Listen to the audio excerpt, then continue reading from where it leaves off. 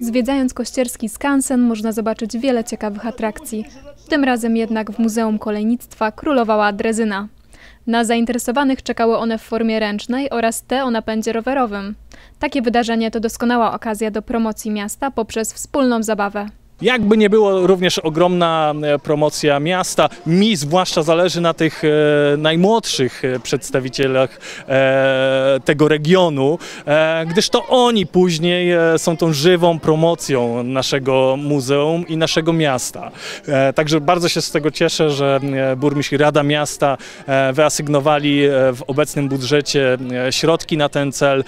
No i myślę, że kolejna odsłona tych mistrzostw będzie jeszcze bardziej e, owocna i jeszcze więcej e, ekip e, zapisze się do tych zawodów.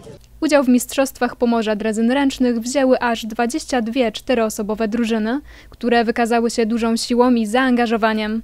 Start odbył się w czterech kategoriach: szkoły podstawowe, gimnazja, dorośli oraz weterani. Zasady wyścigu były bardzo proste. Trzeba wsiąść na drezynę, pojechać drezyną, wrócić drezyną.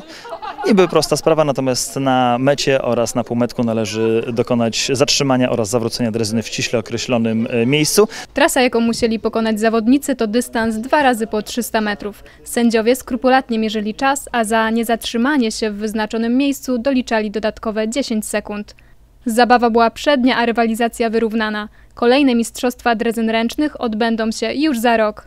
Wyniki z rozstrzygnięcia wyścigów znajdą Państwo na naszej stronie internetowej kościerzyna24.info.